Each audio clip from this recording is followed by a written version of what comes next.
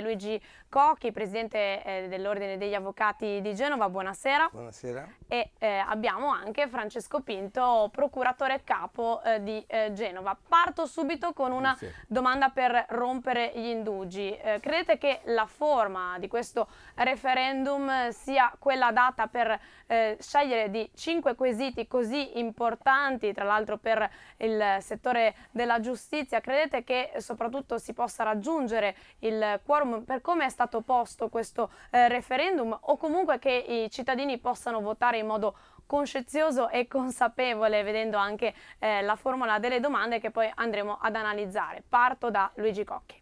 Ah, certamente un referendum che viene posto su questo abrogativo che viene posto su queste norme che sono estremamente tecniche hanno bisogno di una diffusione e comprensione da parte del pubblico, perché si di, non si tratta di domande secche, aborto sì, aborto no, cose di questo genere, qua si tratta di andare a scrutinare il significato di queste norme e l'impatto di queste norme. La ragione di questi referendum però va trovata in un, in un momento storico quale, nel quale eh, la politica non è riuscita mai a risolvere i nodi che sono sotto, sottostanti a queste domande. E a questo, la, eh, tutte le riforme che sono state avviate anche dall'ultimo governo su questi temi non sono mai riuscite a trovare una congruazione e una definizione. Quindi il referendario è un modo di superamento di questa difficoltà politica di andare a legiferare in questa materia. Abbiamo scelto due persone con due posizioni eh, diverse. Pinto, lei come la vede per questo referendum? Era la misura giusta per chiedere ai cittadini di esprimersi? Allora, nella prima parte della risposta non posso che condividere quello che ha detto l'avvocato Cocchi, ma questo sarà uno dei motivi per cui io rifiuterò le schede elettorali, perché ritengo che sia assolutamente impossibile eh, riformare interi istituti che richiederebbero invece una seria riflessione attraverso una semplice abrogazione di una norma.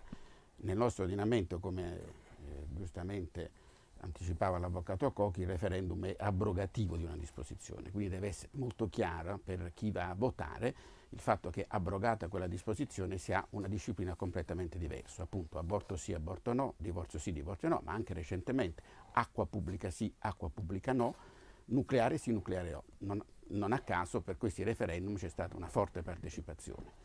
Non credo che questi referendum appassionino francamente l'opinione pubblica.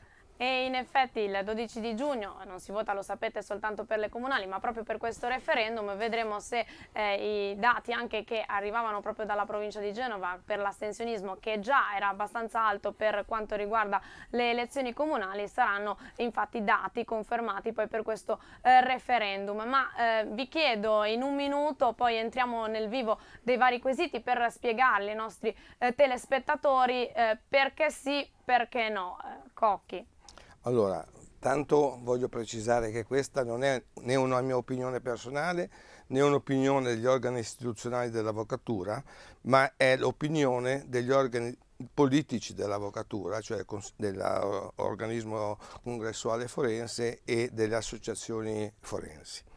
Eh, perché sì, perché sì, perché eh, purtroppo tutte le riforme che hanno Uh, sono uh, partite con riguardo a questi temi non hanno mai trovuto, trovato una loro soluzione.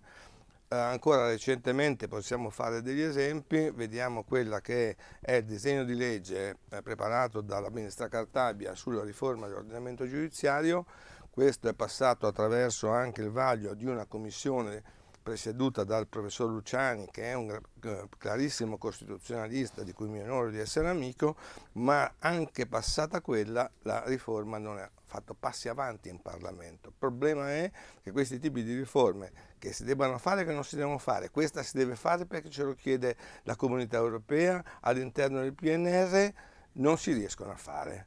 Questa è la ragione della rottura del, del principio per cui il potere legislativo spetta al Parlamento e qua si fa un esercizio di democrazia diretta è proprio questo, quando l'esercizio del potere legislativo non è sufficiente per poter risolvere un problema. Pinto in parte lei mi ha già risposto, ma perché eh, ha deciso di rifiutare queste schede? Perché da un lato i tre referendum che attengono alla, diciamo, alla istituzione della magistratura sono totalmente inutili perché non riescono neanche a raggiungere, pur abrogando quelle, quelle norme, i fini che si prospettano.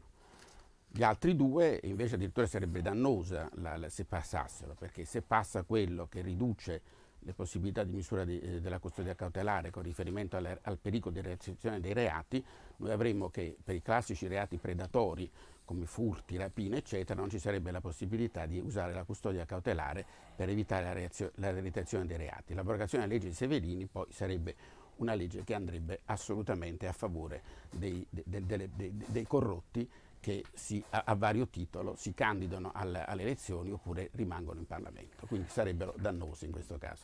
Entriamo allora nel merito, in parte li abbiamo già anticipati questi quesiti, parto proprio dal primo, chiedo anche alla nostra regia di eh, mostrarcelo, provo a leggervi soltanto il primo, io ho un po' studiato ma eh, vi assicuro che sono eh, complicati. Volete voi che sia abrogata la legge 24 marzo 1958 numero 195 nel testo risultante dalle modificazioni e integrazioni adesso successivamente apportate limitatamente alla seguente parte, articolo 25,3, limitatamente alle parole unitamente ad una lista di magistrati magistrati presentatori non inferiore a 25 e non superiore a 50. I magistrati presentatori non possono presentare più di una candidatura in ciascuno dei collegi di cui al comma 2 dell'articolo 23 ne possono candidarsi a loro volta. Questo è l'unico che leggerò, poi gli altri cercherò invece di farveli direttamente spiegare anche perché alcuni sono eh, lunghissimi. Questo tratta della riforma del Consiglio Superiore della Magistratura. E allora, eh, che cosa succede se voto sì? Cocco. Cocchi. Se voto sì, eh, il sistema elettorale che è previsto attualmente dalle norme sull'ordinamento giudiziario viene vulnerato e deve essere sostituito da un altro sistema, e cioè sostanzialmente i tre che riguardano l'ordinamento giudiziario sostanzialmente hanno una logica abrogativa in funzione di una rimozione di alcune norme impeditive di una riforma più, più organica, più completa dell'ordinamento dell giudiziario oggi la Commissione Luciani ha, eh, ha, ha, disposto un testo, questo testo non va avanti, questo è uno dei profili, dei profili per cui la Commissione Luciani ha con, eh, introdotto in quel testo delle modifiche assolutamente non significative non tali da rimuovere quelli che sono gli inconvenienti che possono derivare da questo sistema elettorale. E cosa succede invece se voto no? Rimane tutto così com'è, ma perché votare no?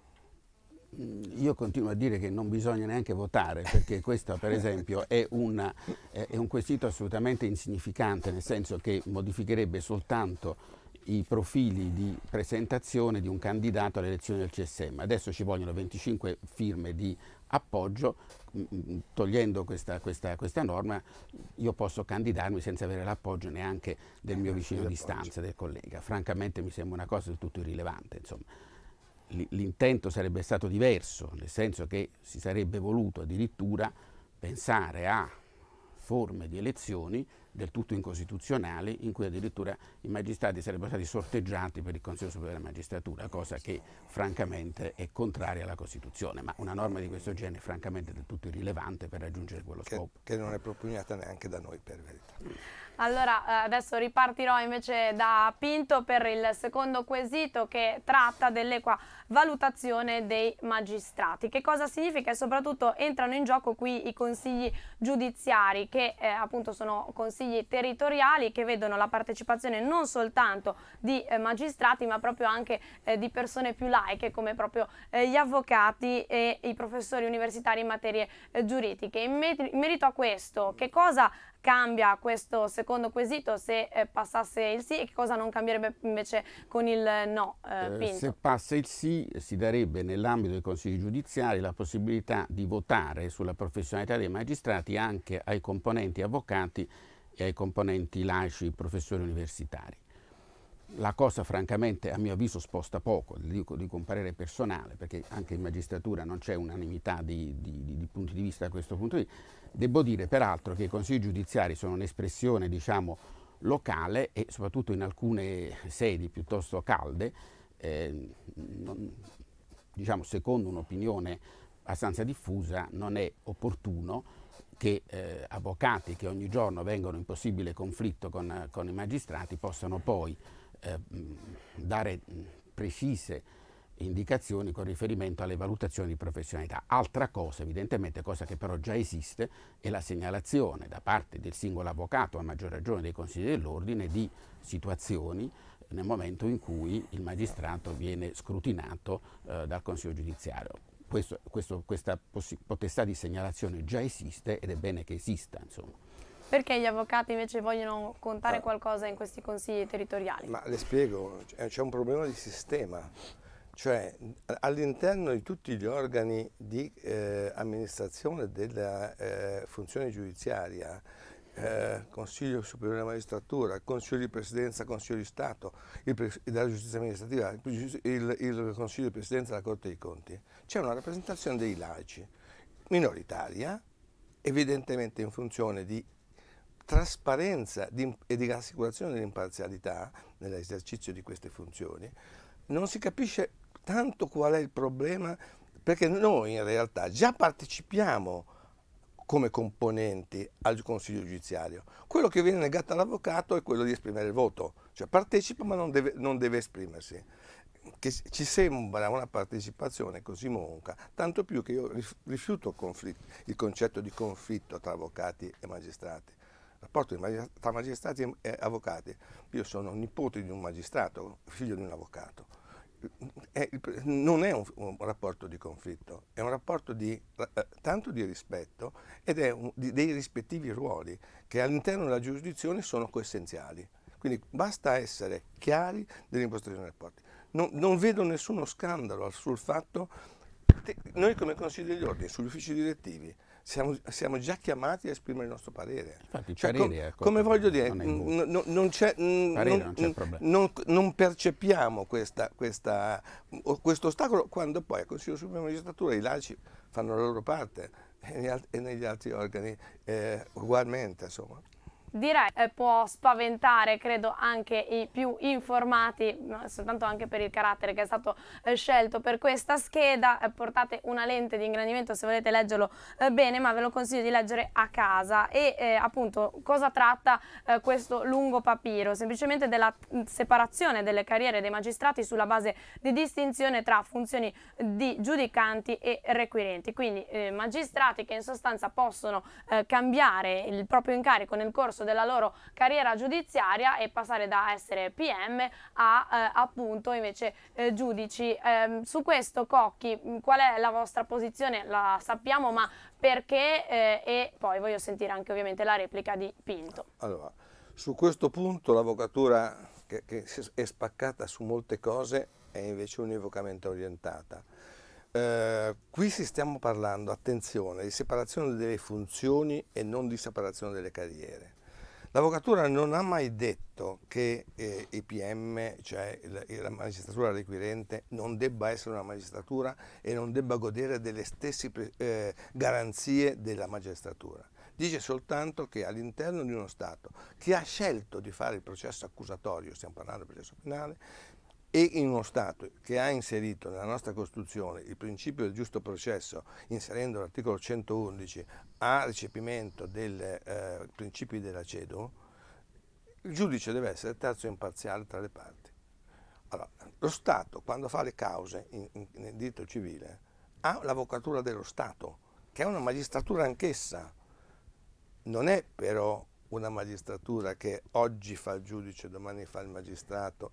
Questo è un elemento che rischia di vanificare il principio della terzietà del giudice. Quindi, e noi diciamo separazione delle funzioni, non delle carriere. Pinto, dal suo punto di vista, eh, lei avrebbe potuto scegliere all'inizio della sua carriera eh, appunto la quale funzione eh, seguire e soprattutto ritiene che sia uno strumento necessario? Guardi, io, io ritengo che sia addirittura formativo per un magistrato riuscire a eh, avere tutte le tappe possibili. Io ho avuto la fortuna, ho lavorato all'inizio della mia carriera al Tribunale di Torino, ho fatto solo il giudice, sia penale e, e, e poi anche civile e solo successivamente ho ritenuto di approdare a fare il pubblico ministero. Ritengo molto pericoloso il fatto che oggi ci sia una sclerotizzazione in entrambi i ruoli, perché oggi di fatto praticamente noi già abbiamo una situazione in cui la gran parte dei magistrati nasce PM e finisce la carriera PM o nasce giudice e finisce la carriera giudice. Questo sta creando una, un vero impoverimento della giurisdizione, questo come dato generale. Come dato particolare, anche questa volta il, il quesito è sbagliato, perché in realtà, eh, come giustamente con la sua onestà intellettuale che lo caratterizza, diceva eh, l'avvocato Cocchi, l'obiettivo che ha l'avvocatura in realtà è la separazione delle carriere, che, è, che attualmente è vietata dalla Costituzione, perché la Costituzione prevede un unico ordine giudiziario. Quindi noi parliamo soltanto di separazione di funzioni nell'ambito di un'unica carriera che tale rimane.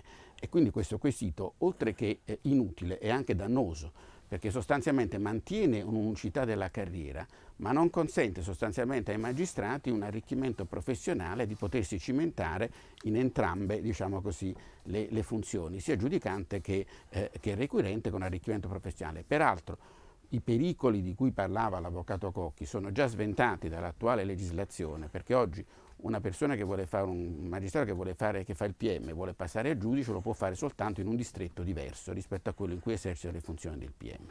Quindi non vedo quale sia il motivo di cambiare. Usciamo diciamo, dall'ambito eh, prettamente eh, legato alla magistratura per andare invece a parlare degli ultimi due quesiti. Il primo, il quarto, tratta dei limiti agli abusi della custodia cautelare. E allora la custodia cautelare significa appunto eh, mettere in carcere o comunque le misure eh, cautelari per eh, le persone appunto che eh, sono in attesa eh, di eh, giudizio, almeno questo eh, è quello che emerge da questo quesito. Perché allora l'avvocatura ritiene che questo sia anche uno sperpero di denaro pubblico e sia una, diciamo una decisione che non deve essere presa? L'avvocatura ha una posizione per sua natura garantista dei diritti il, il, noi abbiamo uno Stato e un ordinamento costituzionale che è fondato sulla presunzione di innocenza. E purtroppo nel nostro, nella nostra vita tutti quanti noi abbiamo visto tanti soggetti condannati in primo grado, condannati in secondo, assolti in Cassazione. Pensi un po' a chi ha avuto le misure cautelari dopo il primo grado, per esempio, e poi si è visto la sentenza annullata dalla Cassazione, qual è il tipo di remunerazione che può avere dall'ordinamento? L'ordinamento deve essere un ordinamento che eh, con delle misure cautelari evita degli eh, fenomeni eh, perversi, ma non può, secondo me, anticipare l'esecuzione della pena, cioè la sostanza, a un momento anteriore al passaggio in giudicato della sentenza con la condanna. Per chi è per il sì, quindi si tratta di una forma anticipatoria della pena, ma in realtà è una misura preventiva, eh, voi la adoperate in questo modo? Guardi, in un mondo ideale quello che dice l'avvocato Cocchi è da sottoscrivere e purtroppo eh, i processi hanno una durata che deriva anche dalla complessità evidentemente delle indagini e la custodia cautelare è prevista per il pericolo di fuga dell'imputato, per il problema dell'inquinamento delle prove e poi per il problema della pericolosità, nel senso della possibilità che l'imputato possa commettere reati dello stesso tipo nel momento in cui vi sono gravi indizi eh, per cui ne ha commesso qualcuno. Ora, il quesito attiene a quest'ultima parte diciamo, della, della custodia cautelare, che è quella che naturalmente è più diffusa, perché tutti quelli che sono i reati diciamo, di, di, carattere predatorio, il piccolo spaccio di stupefacenti, sono tutti eh, reati commessi quasi sempre da persone che eh, de delinquono in maniera diciamo così costante. Quindi evidentemente ci sono esigenze anche di prevenzione sociale che stanno alla base di queste misure. Evidentemente è una scelta di carattere politico, però si sappia che se si vota poi eh, questo tipo di, eh, di, referendum, questo sì, evidentemente tutte quelle che sono le, le, ragioni anche di prevenzioni sociali che sono caricate sul processo penale verrebbero meno. Posso Riparto... fare, posso fare sì. una piccola replica? Io però voglio segnalare l'esigenza di quel cittadino che ha subito la misura cautelare e poi è stato assolto. E ci sono delle forme riparatorie, ovviamente. Eh, ma, ma le, le forme riparatorie rispetto alla libertà personale sono dei rischi che, che, un ordinamento che deve tutelare anche diciamo così, i beni dei cittadini e, e la libertà dei immagino. cittadini, certamente ci sono, ci, so, ci sono, istituti riparatori, questo è evidente, ma anche per le altre due forme, perché la, la custodia cautelare attiene anche al pericolo di fuga o al pericolo di inquinamento delle prove. Quindi voglio dire, c'è un, un, discorso complessivo. Mm, portando agli estreme conseguenze il ragionamento dell'avvocato Cocchi, bisognerebbe abolire totalmente le misure cautelari. E poi però eh, vediamo come si faranno i processi. Allora, già l'atmosfera è calda, ma veniamo all'ultimo eh, quesito che vado anche a leggervi perché tratta dell'abolizione del decreto Severino. Volete voi che sia abrogato il decreto legislativo 31 dicembre 2012 numero 235, il testo unico delle disposizioni in materia di incandidabilità e di divieto di ricoprire cariche elettive e di governo conseguenti a sentenze definitive di condanna per delitti non colposi a norma dell'articolo 1,63 della legge 6 novembre 2012 numero 100. 190, era corto, quindi potevo permettermelo, riparto in questo caso da eh, Pinto eh, perché eh, questa eh, abrogazione non sa da fare. Ma guardi, su questo francamente io sospendo il giudizio, nel senso che qui eh, c'è un paradosso in questa situazione, cioè questa legge è una legge che si è data alla politica con riferimento al fatto che eh, ci sono stati casi paradossali eh, di persone, spesso anche proprio con tanto di aura di, di mafiosità, addirittura con, con, sentenze di condanna passate, che non sono mai state rimosse né dai consigli comunali né, dai consigli, né dal Parlamento. A un certo punto la, la, la, la, misura è stata talmente colma che la stessa politica decide di, di, di porre diciamo così, dei limiti sia alla candidabilità di persone di questo genere sia alla permanenza di persone di questo genere in organismi elettivi. Su questo davvero l'azione della magistratura non c'entra per niente perché noi abbiamo dal punto di vista dell'agire dei magistrati misure di carattere interdittivo che possono essere assunte durante lo svolgimento del processo, sono diciamo, misure di carattere cautelare di un certo tipo che non, non toccano però il referendum di cui stiamo parlando, finché non ci abrogheranno anche quelle, e poi misure finali interdittive nel momento in cui c'è la condanna per altri reati. La politica ha voluto dare con questa legge una maggiore diciamo così, eh, immagine moralizzatrice e quindi è un, è un, precetto che dà a se stessa. Adesso non si capisce perché a distanza di qualche anno bisogna eh, diciamo, riformare tutto e, ri, e, ritornare a prima. Come cittadino direi che è un, è un, passo, è un passo indietro francamente rispetto a quello che erano certi intenti. La replica aspetta Cocchi perché ovviamente queste norme sono fortemente sospettate di legittimità costituzionale.